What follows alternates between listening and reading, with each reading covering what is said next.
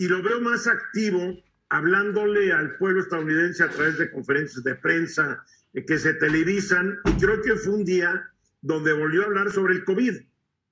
Así es, Eduardo. Justo la encuesta que acaba de salir es de la, de la Universidad de Quinnipiac, que dijo que los niveles de desaprobación son, muy altos eh, de Joe Biden, incluso solamente tiene una aprobación del 33%, eh, lo cual es pues la peor calificación de una encuesta pública importante durante todo su mandato. Y si bien es cierto que todavía le quedan pues tres años por delante, la preocupación es que faltan, bueno, ya quedan menos de 300 días para las elecciones internacionales intermedias del próximo 8 de noviembre en Estados Unidos y los encuestados eh, dijeron que los dos problemas, la economía, particularmente la inflación, el alza en los precios al consumidor, al igual que el manejo de la pandemia, pues son los dos puntos que le están eh, causando esta alta desaprobación al mandatario estadounidense. Y justo hoy eh, Joe Biden desde la Casa Blanca ofreció una conferencia de prensa para dar ciertas actualizaciones de la estrategia que está abarcando su gobierno para hacer frente a este auge de casos por la variante Omicron.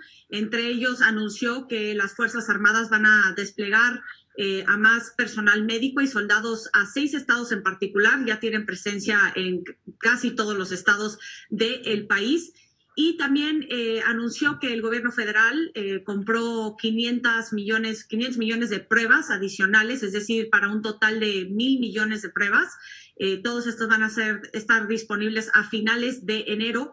Al igual que el día de ayer, el equipo de respuesta de COVID-19 de la Casa Blanca anunció que también para finales de marzo van a tener alrededor de un millón de tratamientos antivirales para eh, pues tratar de enfrentar esta, estos contagios por coronavirus que no frenan en Estados Unidos.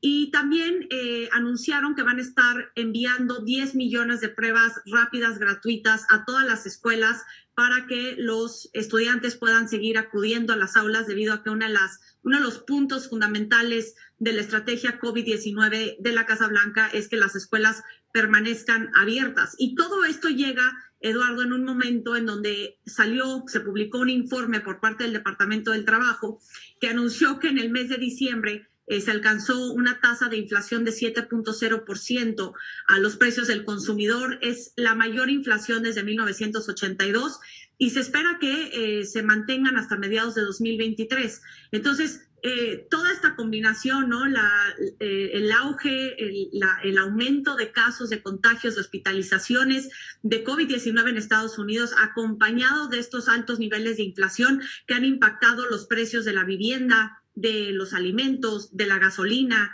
Eh, los supermercados tienen una escasez tremenda de distintos productos, desde lácteos hasta eh, carnes, etcétera. Y pues todo esto le está impactando a los bolsillos de los ciudadanos estadounidenses y por más que esté haciendo un esfuerzo monumental el gobierno de Joe Biden para tratar de solucionar estos problemas, pues los ciudadanos son finalmente los, los que están juzgando la situación y pues están impactando mucho sus bolsillos. Yo creo que el gobierno de Biden, igual que el gobierno de México, no ha sabido explicar por qué la inflación se está importando. Por ejemplo, China y Corea son países en donde aún pequeño brote de COVID cierran todo.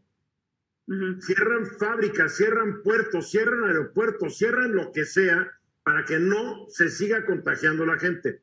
El problema es que, por ejemplo, China, China es el primer proveedor del mundo. Si China cierra y hay una escasez de productos, los precios suben. Corea y Taiwán, cero tolerancia al COVID. Si cierran, pues las principales fábricas de microchips están en Taiwán y en Corea. No hay microchips. O sea, no saben explicar que son razones que están más allá de su poder. no solamente es, es, lo que haga el gobierno o el Banco Central, se está importando mucha inflación.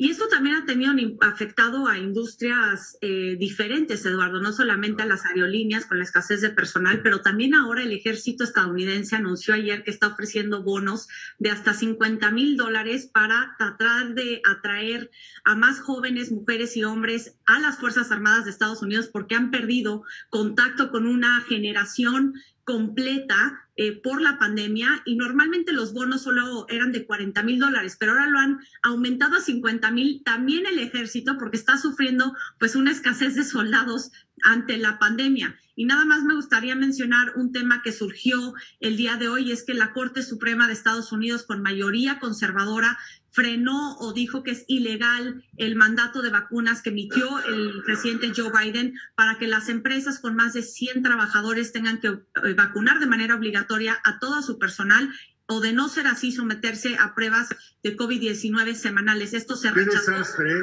Qué es un golpe desastre. para la Casa Blanca. Estos conservadores gringos son lo más funesto que existe, la verdad. Así es. Y seguramente varios de ellos, entre ellas la Amy, ¿cómo se llama? La Amy Barrett.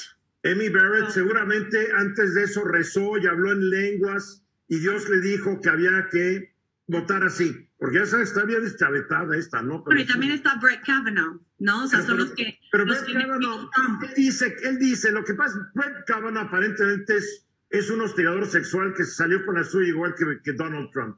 Mónica, ¿Hasta qué punto los anti-vaxxers realmente tienen ese poder como para, primero, influir tanto en la Suprema Corte, influir en la Cámara de Representantes, en el Senado y además impactar en las encuestas en que revelan que Biden no tiene popularidad? O sea, ¿cuál es la organización? ¿Por qué se da esto? Simón, y más allá de los anti-vaxxers, porque hay más de 210 millones de, de ciudadanos estadounidenses que están completamente vacunados, solamente 23% ha recibido eh, la dosis de refuerzo, pero el tema es que también los vacunados están contagiándose con COVID-19. Lo que no dicen es que gracias a las vacunas y a la, a la de refuerzo no tienen síntomas tan severos como las personas que no están vacunadas. como el presidente López Obrador, ¿Sí?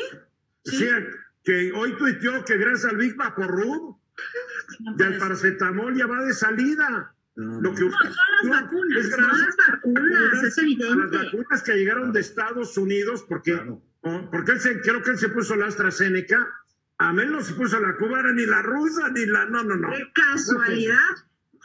El problema le también... tocó, le tocó porque se planeó que la delegación Cuauhtémoc, de- donde él vive, fuera la AstraZeneca. Nótese que no dijeron la Sputnik en delegación Cuauhtémoc.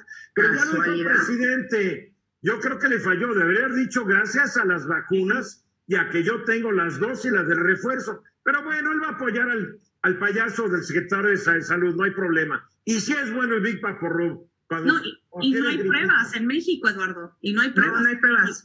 O sea, también no hay pruebas, ¿no? Entonces Claro que no hay pruebas. Mira, deberían hoy- acentuar el tema de las vacunas. Si no tienes pruebas, supuesto, que la gente claro. se vacune, Claro.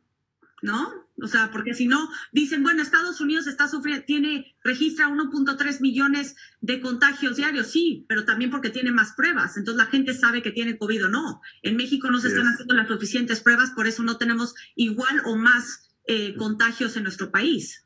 Pero fíjate, Lila, dicen aquí que no hay pruebas a nivel mundial, mientras el presidente Biden acaba de anunciar que va a entregar 500 millones de, eh, de- 500 millones de pruebas, ¿es correcto? O sea, Sí, prácticamente no, van a ser para- Van a ser mil millones. Un mil millones. jardín- ¿para qué? O sea, Sí. está- Pero son todo para Estados Unidos, él no tiene por qué se regalarse al mundo. Él es gobernante de Estados Unidos, no es gobernante de Canadá ni de Y México. se, ni van a, y van a enviar de manera gratuita a todos los hogares que lo requieran y también van a estar enviando máscaras de alta calidad, es decir, N95, para las personas también que lo necesiten para tratar de protegerse contra COVID-19. Él subrayó que la vacunación y el cubreboca sigue siendo pues, las medidas más importantes para tratar de protegerse contra esta nueva variante Omicron. Pero te digo, hay gente que no entiende y no usa el cubrebocas y recae. Tienen que usar el cubrebocas Por porque supuesto. sigue siendo y vacúnense y si pueden dosis de refuerzo porque sí ayuda mucho. Dile a ver, mil gracias. Gracias a ti, Eduardo.